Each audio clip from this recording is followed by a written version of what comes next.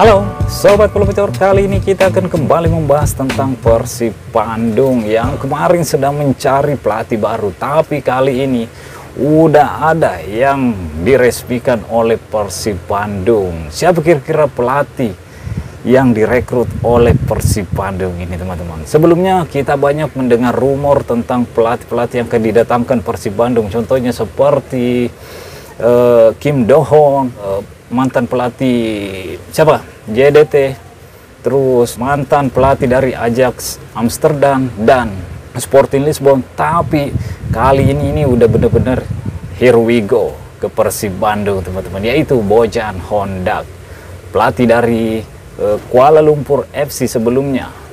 Bahkan sebelumnya pelatih ini Bojan Honda ini pernah juga melatih PSM Makassar. Nampaknya Persib Bandung memang suka ya mengambil mantan-mantan dari PSM Makassar. Dulu Robert Rene Albert beralih juga ke Persib Bandung. Sekarang Bojan Hondak pindah juga ke Persib Bandung. Bukan hanya pelatih, pemain-pemain juga yang pernah berseragam PSM Makassar ada yang beralih ke Persib Bandung seperti Esra Walian, Mark Klok juga pernah berseragam PSM Makassar dan pindah ke Persib Bandung saat ini. Wah, wah, wah, tampaknya PSM dan Persib Bandung emang kayak begini sih teman-teman ya. Oke, oke.